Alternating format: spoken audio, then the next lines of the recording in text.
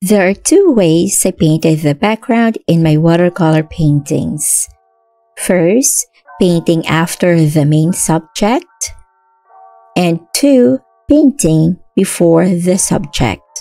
Hi, I am Bianca. I am a watercolor artist. I create watercolor tutorials and art supplies reviews. In painting after the subject, I carefully painted the background section by section I started from the top left, then I moved to the top right and the bottom. I painted the background section by section because I have the apple in the middle. I thought of masking the apple first before painting the background, but I think I'm excited about finishing this piece, so I didn't do it. Another reason is I live in a humid country, the Philippines. And even if I paint in an air conditioned room, the paper still dry fast. The second option is to paint the background before painting the main subject. With this, I used masking fluid to temporarily cover the main subject.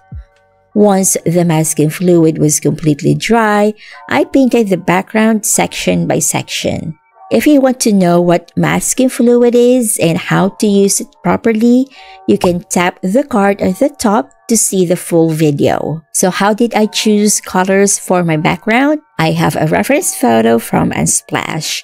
Thank you to Marek Studzinski for the beautiful apples in the tree photo. I started the reference photo and then I looked at the colors.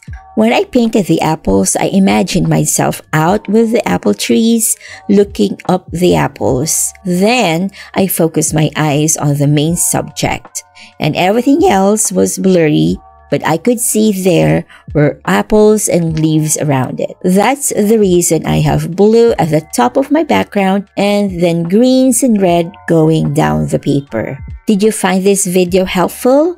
If you do, tap the like button. Subscribe to my channel if you want to see more videos like this.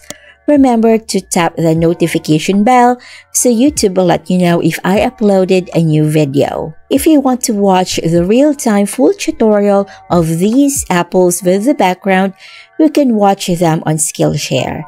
Skillshare is an online platform where you can watch in-depth full tutorials on painting, calligraphy, video editing, blogging, and a lot more. I have a 30-day free trial and you can watch my full tutorial and a lot of other tutorials on Skillshare. So check the description box for the link. I'm also looking forward to seeing your version of the watercolor apples.